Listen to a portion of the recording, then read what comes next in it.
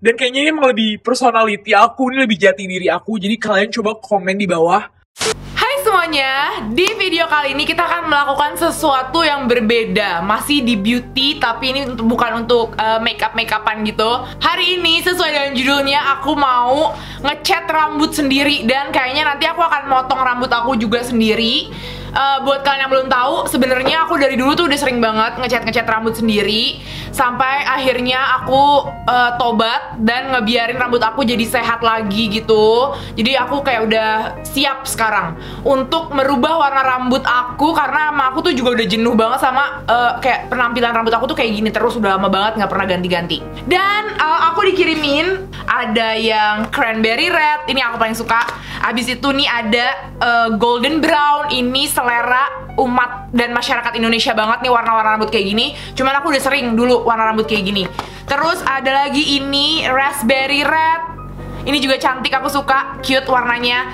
Kalau kalian lebih suka yang kayak ungu-ungu gitu, di sini juga ada yang warnanya namanya plum red, kayak agak lebih ungu gitu lah ya. Dan yang terakhir, ini ada midnight blue. Midnight blue fix banget nantinya juga aku akan cobain. Lengkap banget kan? Dan uh, sebelum kita mulai ngecat rambutnya, kita akan ngebahas dulu tentang produk dari Garnier uh, Color Naturals ini. Jadi sesuai dengan namanya, dia ini ingredientsnya semuanya natural gitu loh. Jadi nggak usah ngebleaching bleaching dulu, warnanya itu akan lebih keluar di rambut yang emang dasarnya tuh hitam. Dan selain natural semua dan warnanya bagus-bagus dan warnanya bisa keluar di rambut yang aslinya gelap kayak aku gini, harganya itu sangat bikin shock. Huh? Karena yang ini nih yang full size kayak gini harganya cuma 45.900. Sedangkan kalau kalian ngecat rambut di salon, kalian harus kayak bayar bisa 4 juta 500 gitu. Jadi kayak sangat amat mengirit. Nah, jadi ini tuh yang si 45.900 itu di dalamnya kalian akan ngedapetin apa aja. Kalau kalian belum pernah ngecat rambut atau nggak pernah beli cat rambut, aku akan kasih tahu nih isinya. Pertama, ini tuh adalah si krim pewarnanya pastinya. Terus um, selain krim pewarna itu tuh kalau ngecat rambut sendiri pasti akan dikasih ini. Ini tuh kayak developer. Jadi nanti uh, kalian buka botol ininya, terus kalian masukin krim pewarnanya ke sini. Nanti kalian kayak kalian aduk gitu di sini. Terus habis itu di dalam sini kalian akan ngedapetin gloves juga. Jadi tenang aja, kalian nggak usah beli gloves sendiri. Dan yang lebih penting lagi juga buat orang-orang yang belum pernah kalian gak usah khawatir karena di sini juga ada instructionnya.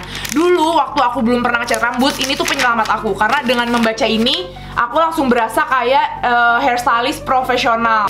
Padahal cuma baca instruction yang ada di sini. Jadi kalian uh, baca aja, pasti kalian bisa kok sendiri.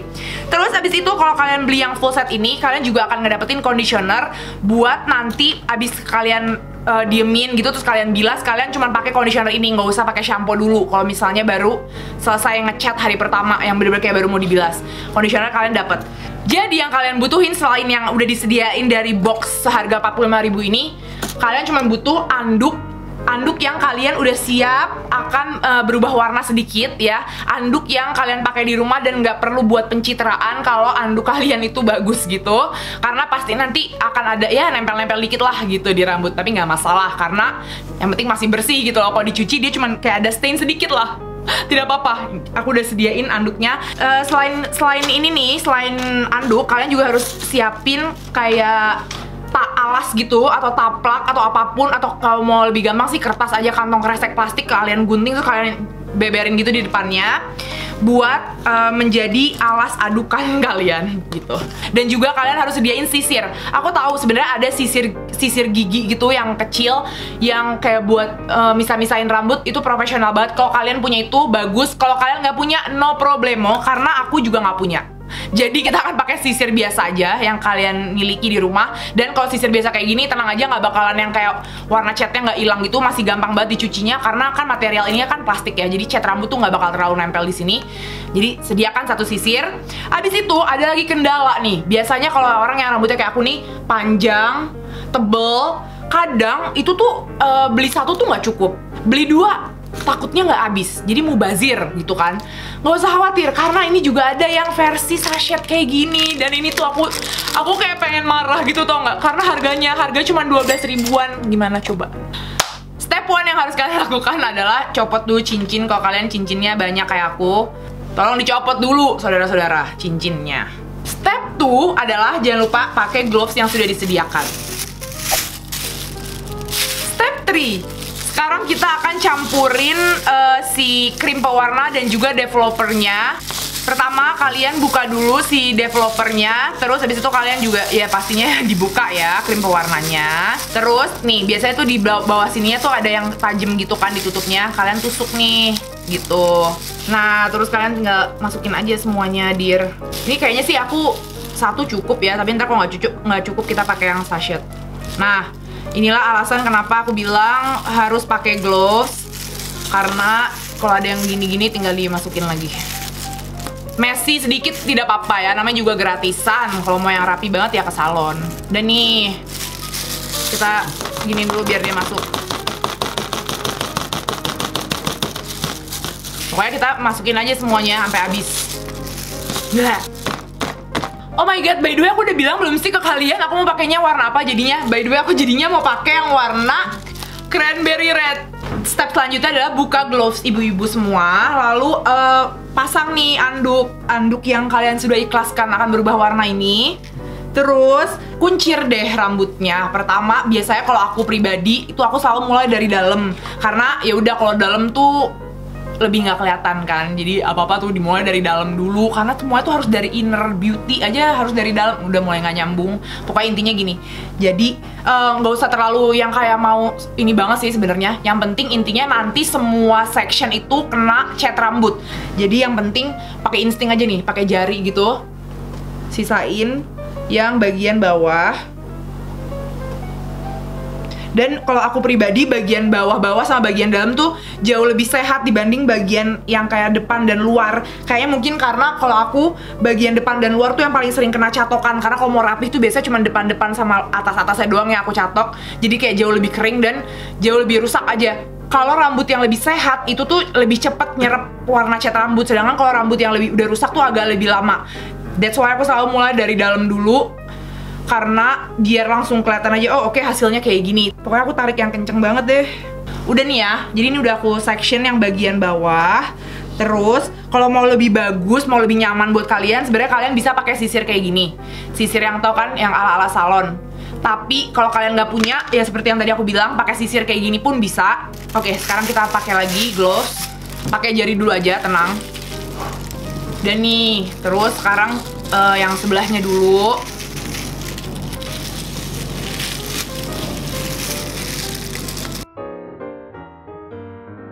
Oke, jadi misalnya nih udah kayak gini nih, udah yang bawah. Biasanya aku kayak aku satuin rambutnya. Jadi nggak aku section lagi, aku satuin. Terus aku kayak kayak orang lagi kerimbat aja. Aku make sure nih semua itu udah kena warna cat rambut gitu. Setelah aku satuin pakai tangan, baru aku sisir. Jadi kalau udah disisir tuh biasanya bener-bener rata deh semua area tuh kena gitu. Nah sekarang uh, ini aku lagi kayak mijit di kulit kepala biar warnanya nggak belang di dalam. Terus balik lagi, di massage lagi. Oke okay guys, jadi ini aku udah ngeratain semuanya ke seluruh rambut aku dan ini kayak sebenarnya ini udah rata banget. Tapi masih ada sisa dan aku tadi akhirnya tuh uh, makainya satu botol plus satu sachet. Ini masih ada sisa karena mungkin kayak rambut aku panjang tapi tebelnya itu tuh karena ngembang gitu loh. Kalau misalnya kalian ngerasa belum rata, kalian bisa pakai ya dua sachet dan satu botol gitu kali ya. Tapi ini aku masih ada sisa segini, aku akan ratain banget sekarang. Dan uh, gimana ya? Pokoknya aku akan pakai sebanyak-banyaknya aja, maksudnya biar warnanya keluar banget gitu. Sejujurnya aku tuh kayak agak risih pakai anduk, capek. nggak apa-apa, kimono aku kotor mendingan daripada capek. Nah sekarang terakhir setelah di massage-massage dengan tangan Ini menurut aku step yang lumayan penting. Kalian pakai sisir lagi. Jadi kalian sisir Tapi inget ya keadaan ini rambut kalian tuh lagi kena produk cat rambut. Jadi jangan terlalu kasar nyisirnya. Karena rambut kalian dalam keadaan lagi ringkih gitu loh sekarang. Sisir kayak mulai dari ujung gini Terus naik ke atas. Jadi ini bener-bener si sisir ini ngebantu catnya tuh jadi rata ke semua helai rambut gitu Oke okay deh guys, jadi aku udah selesai. Menurut aku ini udah cukup rata banget. Dan sekarang uh, aku lagi gulung aja gini. terus aku akan diemin. Ya ini kan udah kayak ini udah 10 menitan gitu. Jadi aku akan diemin kayak sekitar 50 menitan lagi. Atau nanti aku lihat kondisinya aja. Kayak kalau warnanya udah keluar banget menurut aku aku akan langsung bilas. Kalau bilas ya udah nanti kita tinggal pakai conditioner aja. Kayaknya nggak usah diajarin lagi kan cara ngebilas rambut. Jadi segitu. Nanti kita akan langsung ketemu pada saat sudah ada resultnya Tara, jadi ini dia hasilnya dan aku sengaja pindah ke backdrop polos gini biar kalian lebih fokus melihat uh, warna rambutnya tuh kayak gimana. Walaupun aku tahu kalau di video tuh kayak nggak terlalu kelihatan banget. Cuman kalau kalau kalian mau ngeliat lebih jelas, nanti aku akan insert foto before after dan aku juga sempet udah sempet ngupload foto di Instagram gitu. Warnanya sebenarnya vibrant banget. Buat hitungan rambut aku aslinya hitam banget gitu tuh warnanya tetap keluar banget menurut aku. Dan kalau kalian uh, menyadari di bagian bawah tuh kelihatan agak lebih terang karena emang di bagian bawah rambut aku aslinya tuh juga udah bekas bleaching gitu loh. Jadi kalau kalian mau coba, kalian gampang banget ini barangnya tuh udah ada di Indomaret yang warna cranberry red udah ada. Jadi kalau kalian mau coba pakai yang warna ini juga Tinggal cari aja di Indomaret terdekat. Dan udah deh saatnya kita tutup videonya. Thank you so much buat semuanya yang udah nonton. Jangan lupa di like dan subscribe ke channel aku. And I'll see you on my next video. Bye! Jadi kalian inget gak sih waktu aku bilang aku akan fix mencoba yang Midnight Blue. Dan ternyata waktu yang aku butuhkan itu hanya dua hari saja. Aku langsung berubah pikiran. Maaf banget aku labil tapi akhirnya aku memutuskan kayak emang jiwa aku tuh gelap. Jadi aku lebih cocok dengan rambut gelap. Dan akhirnya aku memutuskan untuk langsung ngecat pakai yang midnight blue. Terus jadinya sih kayak hitam aja ya di rambut aku. Cuman emang pantulan cahayanya kalau kalian bisa lihat uh, lebih blue black gitu. Dan kayaknya ini emang lebih personality aku, ini lebih jati diri aku. Jadi kalian coba komen di bawah cantikan aku rambut merah atau rambut hitam kayak gini. Aku sih ngerasa sekarang aku cantik banget terutama sekarang nih.